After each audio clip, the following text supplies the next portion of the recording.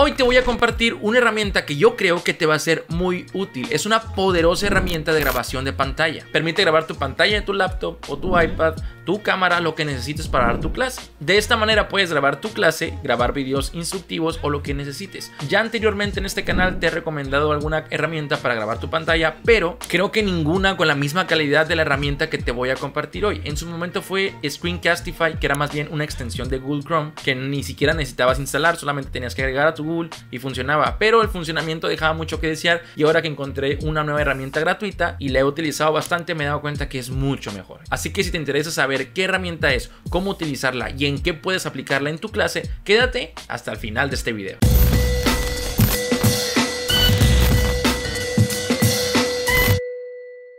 Pues lo primero que hay que hacer para conseguir este software, esta herramienta gratuita para grabar tu pantalla, es ir a la página oficial. La herramienta se llama Cloud App y la página es getcloudapp.com. Recuerda que todos los enlaces que yo menciono en los videos siempre los dejo tanto en la descripción del video, o sea, si ya vas más abajo, como en algún comentario anclado. Entonces únicamente tienes que bajar un poquito más y vas a encontrar esta web y vas a entrar precisamente a esto. Y lo primero que tienes que hacer es registrarte. Para registrarte puedes utilizar tu cuenta de Google o, lo que, o tu Facebook incluso, simplemente dándole aquí. En mi caso, como ya estoy registrado, no me salió como la pantalla de registro. A ti te va a pedir tu nombre, unas cosas, pero pues no pasa de dos minutos y ya tienes tu cuenta gratuita, ya se puede descargarlo.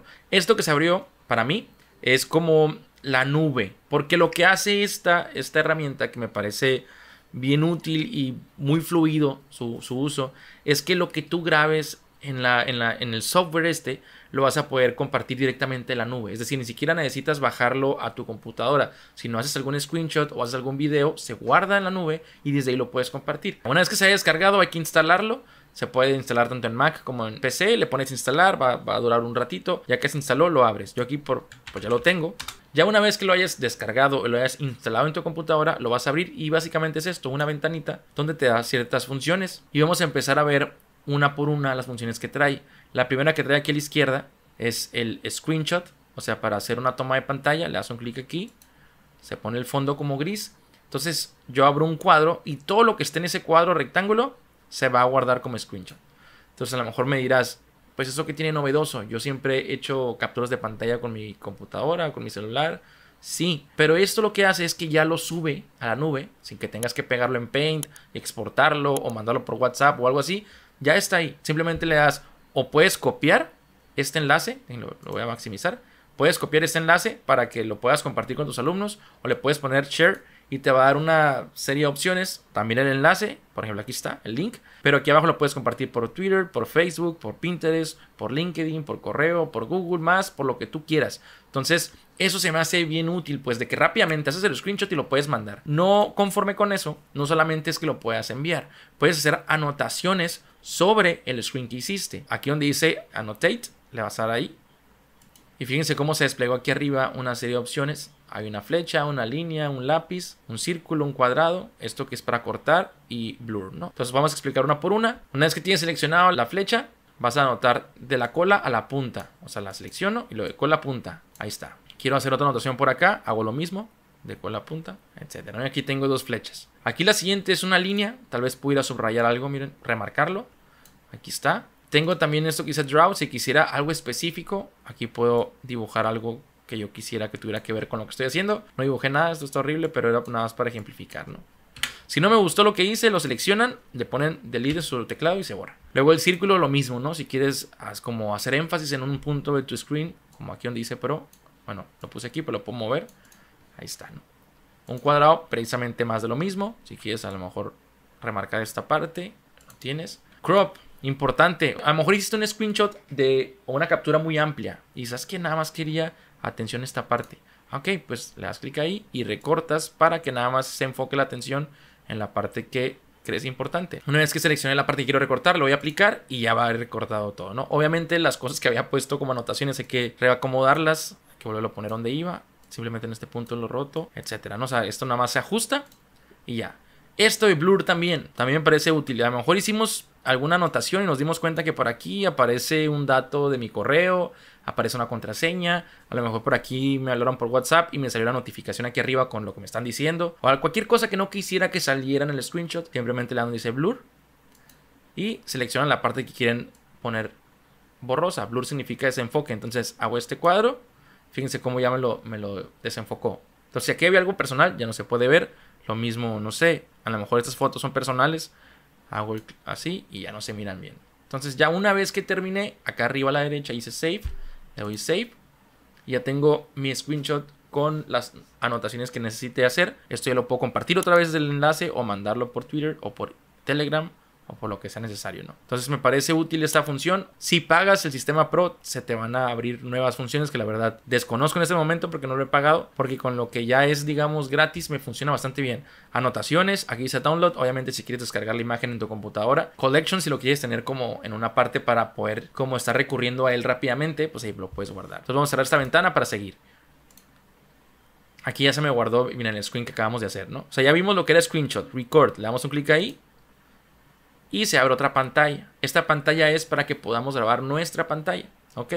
Entonces dice full screen o seleccionar región. Esto es porque full screen, si le pongo grabar, se va a grabar todo lo de la pantalla. Si le pongo seleccionar, me va a dar la opción de poder seleccionar una parte de la pantalla, que es lo único que quiero que salga, ¿no? Abajo dice screen only, o sea, solamente pantalla o pantalla y cámara. Eso es dependiendo de lo que queramos. Si queremos únicamente que se mire en nuestra pantalla de la computadora, pues le hacemos ahí, explicamos lo que tengamos que explicar y ya. Pero si queremos aparecer en un cuadrito nosotros hablando, lo podemos seleccionar. Obviamente no lo puedo seleccionar porque estoy utilizando mi cámara para grabar este video. Entonces si le doy clic ahí, no sé qué pueda pasar. Tal vez se corte la grabación, tal vez mi computadora explote en pedazos, no sé. Entonces mejor no le voy a dar clic ahí. Pero si ustedes quisieran salir con su webcam, le dan clic aquí, ¿no? Abajo dice formato de, en el que quieres grabar y te pone video y GIF.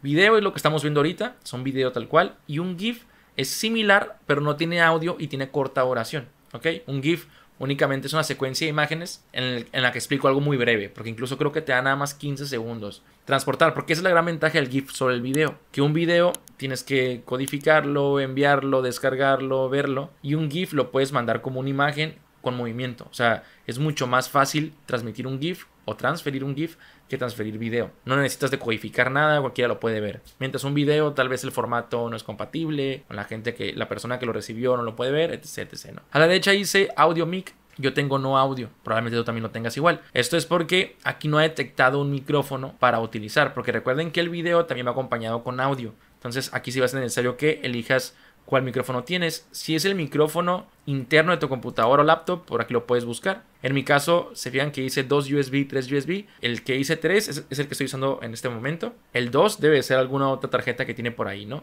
Entonces, todos los micrófonos o posibles dispositivos de audio que tengas van a aparecer en esta parte. Vas a elegir el que creo que te convenga más. Si tengo el full screen, Dice aquí que tengo un límite de grabación de 1 minuto 30 segundos. Obviamente si quiero desbloquear a poder grabar más tiempo, pues hay que pagar el Pro, o sea, hay que pagar la, la membresía, digamos. Y le pones Start Recording si lo que quieres es grabar. Yo no puedo grabar en este momento por lo que ya te conté la cámara que está utilizada para este video, pero le pones Start Recording y ya vas a poder grabar tu pantalla sin problema. ¿Qué otra cosa? Aquí a la derecha dice GIF. Le damos en GIF. Básicamente lo mismo que vimos hace rato con Record. La diferencia es que esto es únicamente GIF. Por ende, no nos da la opción del audio. Se fijan, no viene por aquí grabar con micrófono. Esto es solamente para grabar algo específico. Entonces aquí podemos elegir lo mismo que hace rato. Si queremos full screen, o sea, toda la pantalla o nada más una parte de la pantalla. Si queremos solamente la pantalla de la computadora o queremos pantalla y cámara. Esto ya va a depender de cada quien. Aquí dice que tenemos un límite de grabación de 15 segundos para el GIF. Muy conciso lo que hay que hacer. Ahora vienen las anotaciones. Le damos un clic ahí y básicamente es lo que ya hicimos, pero es otra manera de hacerlo. O sea, aquí vamos a seleccionar la captura de pantalla de lo que queremos. Y solito se nos abrió todo el menú para hacer anotaciones, lo que ya vimos, ¿no? Aquí vienen otras opciones que están interesantes. Dice Highlight Rectangle Tool. O sea, eso significa que ya hice mi screenshot de todo esto, ¿no? Pero quiero que se haga énfasis en una parte específica de mi screen. Voy a seleccionar esa parte y se guarda de esta manera. Y así queda. O sea, se oscurece todo lo demás y enfoca nuestra atención a un punto, ¿no? Y luego aquí a la derecha tenemos el color. Fíjense cómo eh, los bordes son color rojo. Aquí podemos elegir cualquiera de esos colores para el outline, que vendría siendo el borde. Aquí tenemos el tamaño o el grosor del, borde que queremos. Digo, aquí no se modifica. Si hago otro, se va a ver más grueso el borde, ¿se dan cuenta? Y también tenemos el tamaño de la letra. Si hubiéramos puesto texto, modificamos el tamaño de la letra y pues también el párrafo como lo queremos. Y bueno, ahí llega esta explicación. Cerramos esto. Pero aquí a la derecha dice More, lo cual significa que hay más cosas. Vamos a ver qué hay. Le damos clic ahí y se abre este menú con más funciones. Bueno, no más funciones. Estas cuatro son las mismas que ya vimos, las eh, funciones o acciones primarias. Aquí abajo sí están como las adicionales, las extras. Aquí tenemos un full screenshot, o sea, eso es para si queremos hacer un screenshot rápido de toda la pantalla, o sea, no tener que estar eligiendo toda la pantalla. Full screenshot, le doy un clic, se capturó toda la pantalla y ya me está subiendo el screenshot. ¿Se dan cuenta? De hecho, se va a abrir lo más probable. Aquí lo que hice fue hacer un screenshot rápido, rápido de toda la pantalla. Abajo tenemos una cosa que dice upload. Eso también es muy útil. Upload significa que aunque yo no haga ningún screenshot, yo puedo tener un archivo como una imagen en mi computadora y simplemente la quiero subir para poderla distribuir con un solo enlace. Pero en lugar de mandarles a ellos eh, manualmente la imagen que les quiero pasar, la subo con upload, copio el link y ese link lo envío a quien yo quiera y ellos lo van a poder ver. O sea, lo puedo subir a Classroom, por ejemplo, el enlace este. Y ellos le dan un clic y van a poder ver esa imagen, ¿no? Incluso un video, tardaría más, pero también un video. Luego el que dice Delay Screenshot, este screenshot lo que hace es que tiene la particularidad de que eliges la parte que quieres grabar o lo que sea y te da unos segundos para que te prepares, como un contador de una cámara, ¿no? También puedes grabar solamente tu cámara, o sea, no es forzosamente tiene que salir la pantalla de tu computadora, sino también puedes salir simplemente tú en la cámara y se va a mirar. Entonces esto es por si quisieras grabar un video donde únicamente estés hablando. Iba a decir así como yo, pero no, porque ahorita se está viendo mi pantalla. Pero como en el intro del video, también lo puedes hacer con este programa. Y por último, una cosa que se llama Upload Clipboard. Upload, pues es como lo que vimos hace un momento, subir. Y Clipboard se refiere, por ejemplo, usualmente cuando copiamos y pegamos, hay un momento, digamos, o sea, hay un lapso entre el copiar y pegar. En medio hay un, lapso de tiempo, ¿no? Por ejemplo, yo copio esto, le doy control C, que ya lo copié, y yo puedo seguir trabajando haciendo otras cosas, pero sé que en algún punto de mi memoria está lo que acabo de copiar. Por ahí está. Entonces, aunque yo haga otras cosas, me detenga, hable, si yo le doy pegar, se va a pegar lo último que copié, ¿se dan cuenta? Entonces, también funciona con las imágenes. Si le ponemos una imagen de Alexa Moreno, bueno, vamos a elegir esta. Clic secundario, le puedo copiar imagen, ¿ok? Me voy al programa, en More, y luego donde dice Upload Clipboard, le voy ahí. Y lo que va a pasar es que el programa va a subir la foto que yo tenía copiada, la va a subir a su nube. Y ya tengo la foto de Alexa Moreno y lo puedo compartir. O sea, a lo mejor no es algo muy difícil de hacer con otros programas, pero Cloud App lo hace de una manera muy fluida. O sea, no necesito guardarla en mi computadora para poderla adjuntar y luego enviarla, sino simplemente le doy upload, se sube y ya me da enlaces para que lo pueda compartir. Así de sencillo, incluso pudiéramos hacer anotaciones como ya lo vimos un momento y luego la flecha y ponemos que ella es una pro. Y así, bueno, hago las anotaciones que quiera, ¿no? Y ya, se acabó. Y ya, básicamente eso es Cloud App. Creo que es una excelente aplicación. Insisto, vale la pena utilizarla. Les voy a dejar el link de descarga por aquí abajo instalen en su computadora, es una página oficial, no hay ningún virus, no pasa nada. Una vez instalado van a empezar a explorarlo y se van a dar cuenta cómo tiene muchísima utilidad.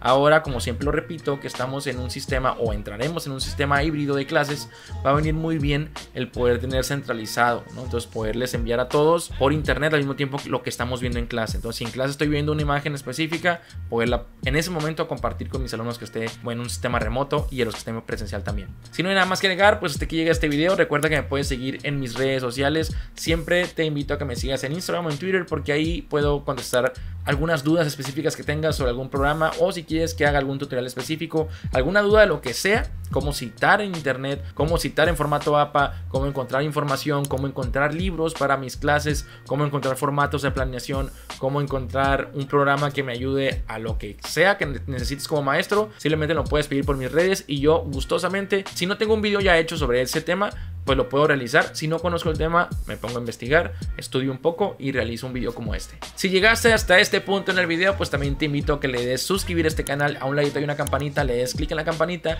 y también me dejes un me gusta y un comentario. El algoritmo de YouTube premia muchísimo mejor los comentarios que cualquier otra cosa. O sea, YouTube dice, si hay comentario, significa que no son bots, es gente real que está interactuando. Entonces, si me dejas un comentario en este video, para mí me va a servir de doble manera o triple. Así que si te interesa saber un poco más sobre el mundo de la tecnología, educativa, sobre herramientas digitales de la educación, sobre cualquier cosa que te pueda servir para implementar en tus clases y ser un mejor maestro, pues suscríbete a este canal para que estés al tanto de todo lo que se está haciendo en el mundo de la tecnología. Si no queda nada más que agregar, nos vemos en el próximo video. Hasta luego. Bye.